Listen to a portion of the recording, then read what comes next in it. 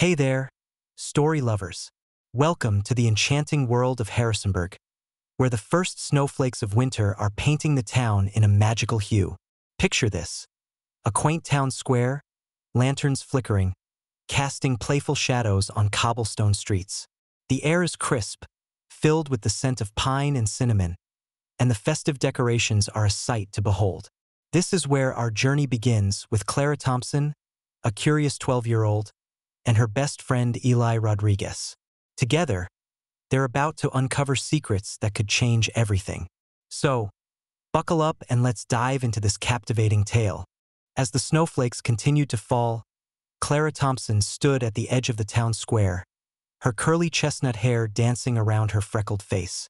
Her bright green eyes were wide with wonder as she clutched her notebook, filled with sketches and notes about the history of Harrisonburg. Beside her, Eli Rodriguez, her best friend, wore a skeptical frown.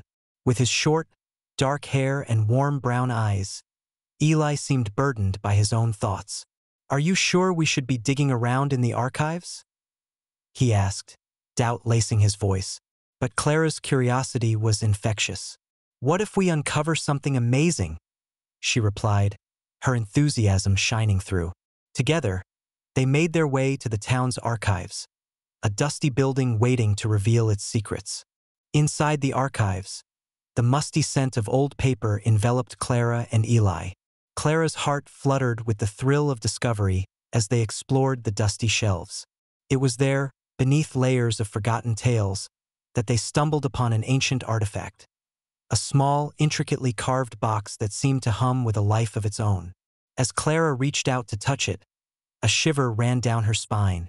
She felt an unsettling connection, as if the box was whispering secrets meant only for her.